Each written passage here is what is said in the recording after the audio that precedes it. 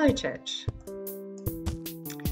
Last Sunday, Camberwell Baptist celebrated 129 years of being. Each year, we as a church stop and give thanks to God. We remember the past, and as we reflect, we can't help but give Him praise for who He is, for what He has done, and for all He is doing within us now, and for what He will do through us in the future. And our service helped us to do just that. Bob reflected on CBC's past, Barbara, Angie, Mel, Lauren, and Caron gave thanks and praise to God in songs so beautifully. And that lifted my own spirit to worship and give thanks to God for all his goodness and faithfulness to me. And Nathan looked to the future and our journey of renewal, for God to put a new heart and a new spirit within us to bring him glory as he continues to work in and through us. So today, for our midweek devotion, I want to continue the theme of thankfulness. The act of giving thanks is the grateful acknowledgement of benefits or favours, especially to God. There are many verses in the Bible that give thanks or exhorts us to give thanks to God.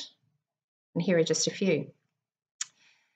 Give thanks to the Lord, for he is good, and his love endures forever. I will give thanks to you forever. Thanks be to God, who always leads us. Thanks be to God for his indescribable gift of grace. Thanks to him who sits on the throne. Give thanks in all circumstances. Just look up your concordance for references and you'll find many, many more. In particular, 1 Chronicles 16 is a favourite of mine. It's David's Psalm of Thanks. This chapter begins with the Ark of God. Israel's enemies have been subdued and David is their new king. They've retrieved the ark, a symbol of God's presence and protection, and set it inside the tent that David had pitched. Offerings were presented before God, and the people were blessed by David in the name of the Lord, and food was given to each Israelite man and woman. David appointed Levites to minister before the ark of the Lord, to make petition, to give thanks and praise to God, and this was also done with music and song. So, against this background, David speaks from verse 8 Give thanks to the Lord, call on his name, make known among the nations what he has done. Sing to him, sing praise to him, tell of all his wonderful acts. Glory in his holy name, let the hearts of those who seek the Lord rejoice. Look to the Lord and his strength, seek his face always. Remember the wonders he has done, his miracles, and the judgments he pronounced. David goes on in verses 13 to 28 to remember God's judgments, the covenant with Abraham and Isaac and Jacob in Israel, and God's deliverance and protection. David speaks of God's salvation, his glory, his marvelous deeds among all peoples, his greatness and supremacy over all gods and idols of the nations David ascribes glory and strength, splendor, majesty, strength, and joy to the Lord, to God. And in verse 29, out of praise and thankfulness, bring an offering and worship the Lord in the splendor of his holiness and rejoice with the heavens. And this is exactly what we did as a church on Sunday. We gave thanks.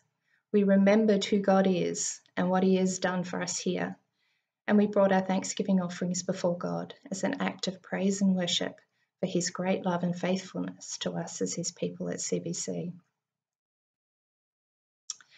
Thankfulness and gratitude is a state of being. It's a choice we can make daily to see the positive around us in people and in our circumstances, to see the positive in people, even if they've wronged us in some way to see the positive in our circumstances, even though it seems dark and uncertain, and especially in 2020 with COVID. So much uncertainty, grief, despair, financial hardship, constrained freedoms. I've been challenged to thank God every day, especially when I'm feeling negative and discouraged. As David has modelled in his Psalm of Thanks, firstly, I give thanks and to be honest, when I'm feeling particularly discouraged or things look bleak, it's difficult. But I found it's a choice to be thankful, and I start with thanking Him for my garden. the joy of seeing the flowers bloom, for the colour, the fragrance, the sunshine, and then I find my attitude shifting. Secondly, I remember his faithfulness, particularly the blessings and miracles God has done in my life in the past. Again, if I'm finding it hard to be positive, remembering his goodness and faithfulness helps my attitude to shift. And thirdly, after I give thanks and remember, I worship and praise him and call on his name. As I lift my eyes heavenward and I again focus on praising him, I can't help but think of his greatness, his majesty, his strength, his glory. This is the God whom I serve, who promises to never leave nor forsake me, whatever the circumstances I find myself in. So, this is my challenge for you, your midweek workout.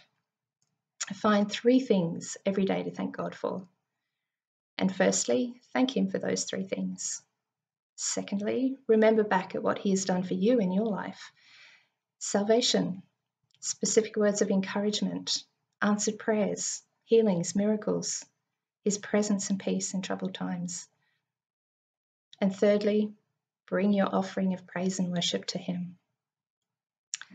I'd love to know how you go with this. Drop me an email. So, let's give thanks to the Lord forever, for He is good and His love endures forever. And all the people said, Amen, and praise the Lord.